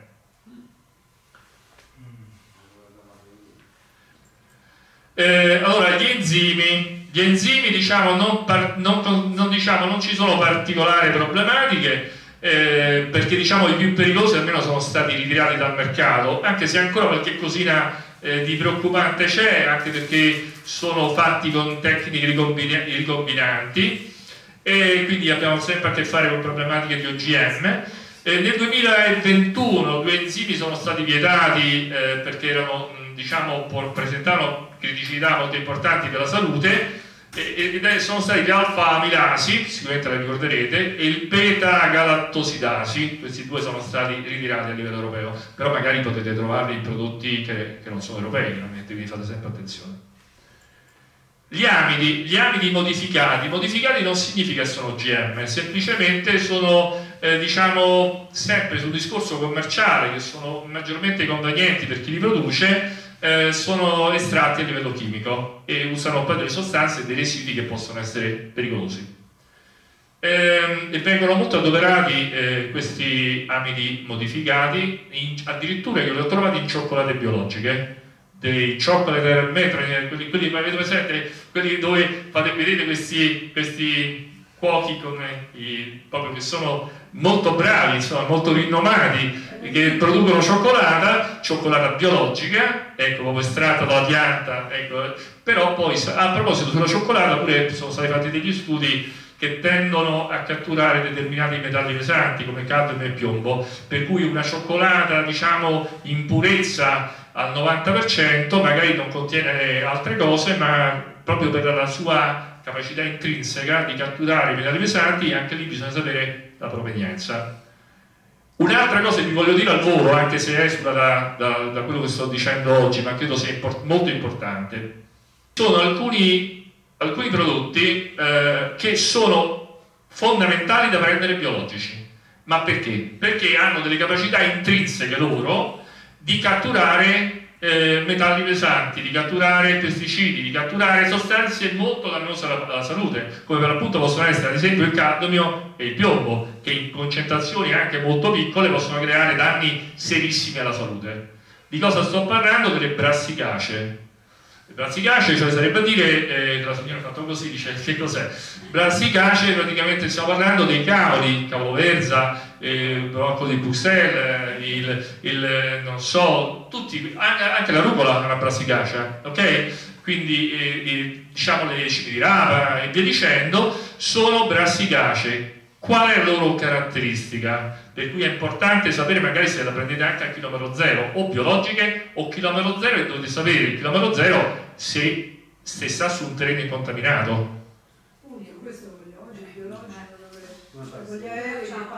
incontaminato Quindi praticamente, eh, sì, ma io vi sto dicendo nei supermercati evitate di comprarlo. Perché? Ah, vengono impiegati soprattutto in uh, stati come la Germania, l'America, per decontaminare le discariche. Perché hanno una capacità incredibile, sono come delle spugne di catturare i metalli pesanti nel terreno. Quindi se c'è piombo o cadmio, vengono subito, se li assorbisce, se li assorbe, diciamo, no? E una delle, una dei, delle, diciamo, delle brassicacee più importanti per la salute a 360 gradi anche per curare le ferite, anche per uso esterno, è il cavolo nero. Il cavolo nero è il principe di tutti, è veramente miracolosa come pianta ed è un potente anticancerogeno. Ovviamente se è biologico, se no vi fate ancora più male. Allora, questa prendetela come una pausa, adesso riprendiamo con gli additivi. No, dico, la cioccolata, a me ci sono delle cioccolate infatti che fanno male, a parte adesso sono, sono intollerante ai solfidi conservati, ma delle cioccolate che fanno male e altre no, quindi evidentemente... Allora, eh, recentemente, non vorrei sbagliare la marca, mi pare la Lindt, sì. eh, mi pare che eh, diciamo soprattutto in quella al 70% è stata fatta una ricerca e hanno trovato delle altissime concentrazioni di eh, diciamo di questi metalli pesanti che fanno male alla salute. Po' di cadmio, mi hanno trovato cadmio. Sì, che è ancora più in percentuali minime, è ancora più pericoloso del piombo, che qui abbiamo detto tutto. Ehm, Ah, aggiungo anche, scusatemi, adesso non, non, mi metto a parlare di farine a base di insetti, se no non ne usciamo più. Ma abbiamo fatto la pubblicazione anche su quello e, la, e anche sul, sulla cultura su cui vengono allevati questi insetti, perché anche lì c'è una filiera e sorvoliamo. Ma eh, abbiamo scoperto che taluni insetti, a prescindere, si comportano come le brassicacee, catturano cadmio e piombo. Quindi in alta concentrazione le farine macinano tutto, vi lascio immaginare eh, quindi vi stavo dicendo, gli amidi, torniamo qui, amici genotossici, mutageni e cancerogeni, e ecco qui vengono riportati, e andiamo avanti, eh, questi amidi genotossici, eh, dove li potremmo trovare? Quale utilizzo si, si, può fare con questi amidi? Perché vengono usati? Ad esempio, il LE 1202 è un sospetto genotossico e cancerogeno stabilizzante del colore, usato per rimuovere i polifenoli dalla produzione delle bile chiare con schiuma stabile. Comunque questo ci deve essere scritto in etichetta. Grazie a Dio non è un coadiuvante tecnologico che non sono presenti in etichetta, è un additivo. Quindi se lo trovate scritto non comprate la birra.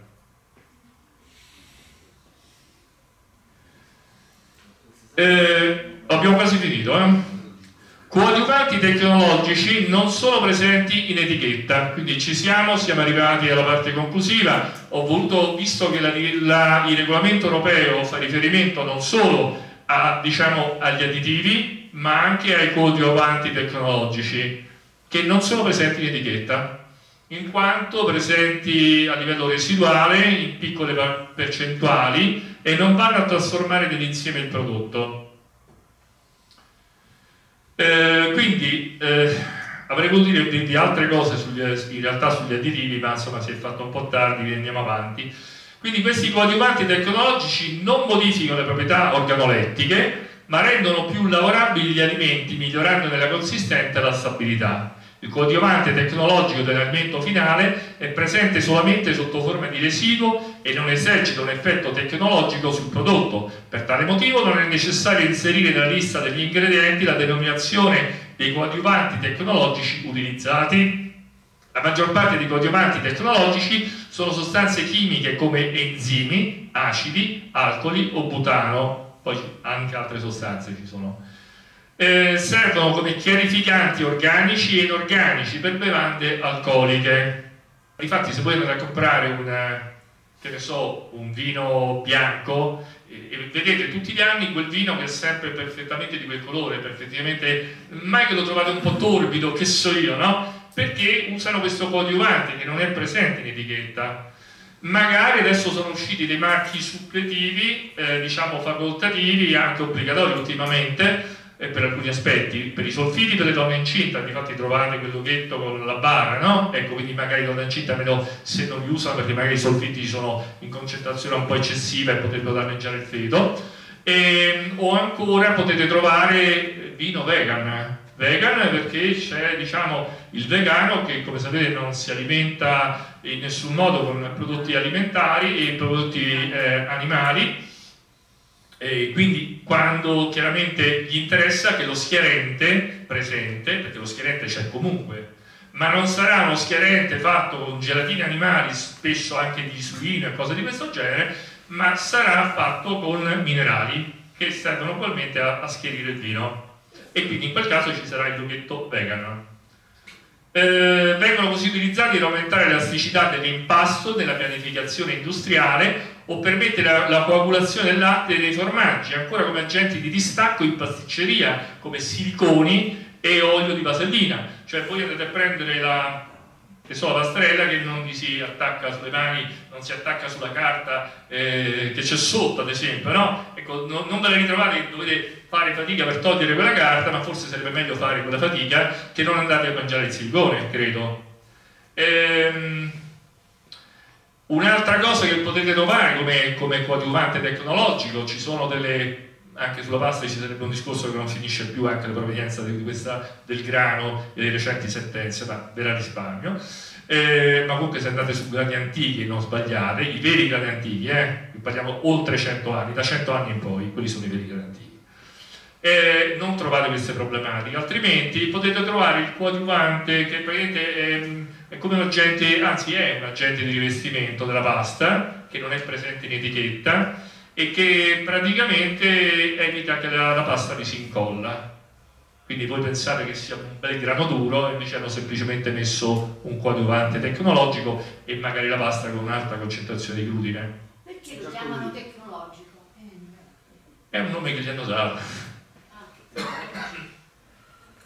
Di fatto il coadiuvante tecnologico è, è un additivo eh, però non è considerato additivo, ma alle volte c'è la duplice eh, attitudine che vi dicevo, ci può essere anche un addensante. Vi faccio un esempio di coadiuvante tecnologico che non è presente in etichetta, così anche qui vi, vi do un input su cosa comprare, cosa non comprare.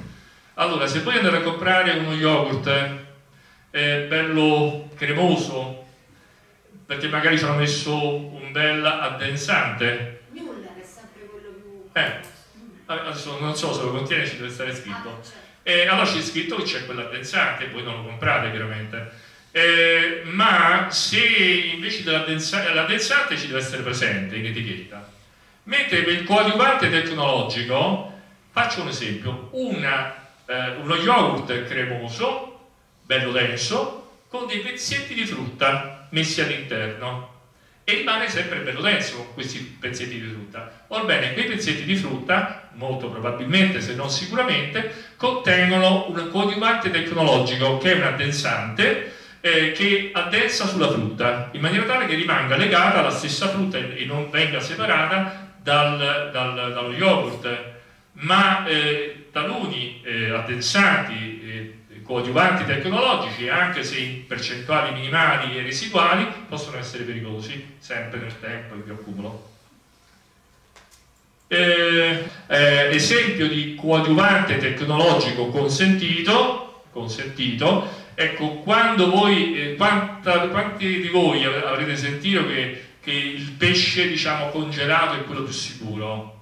Eh, dipende, come dice la canzone, dipende da cosa dipende Dipende, intanto sul gelato alle volte lo, lo, scongelano e poi lo ricongelano. Io qui a Rete ho fatto chiudere due mercati del pesce, eh, proprio perché lo ricongelavano e poi sviluppa ammoniaca.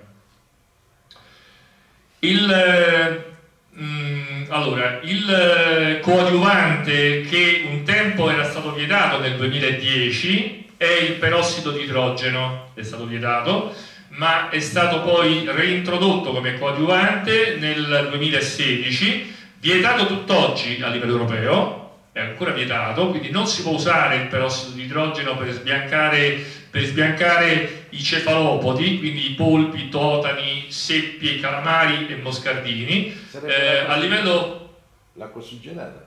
Esattamente eh, l'acqua ossigenata deve essere a una percentuale non superiore all'8%, poi a vedere ovviamente eh, nelle frodi alimentari spesso e volentieri aumentano queste dosi che poi tendono nel tempo a volatilizzare e quindi fanno di tutto di più. In estrema sintesi se trovate questi, eh, come spesso si trovano polipi o quant'altro, polpi o quant'altro, eh, molto bianchi evitateli, meglio quel giallino ecco, che è più naturale, diciamo, più natural.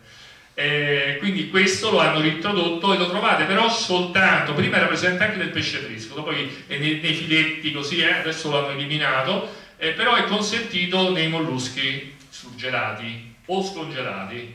Quindi su questi voi, se, ovviamente se ce lo scrivono, eh, non dovete, eh, dovete evitare di comprarli. Ho finito.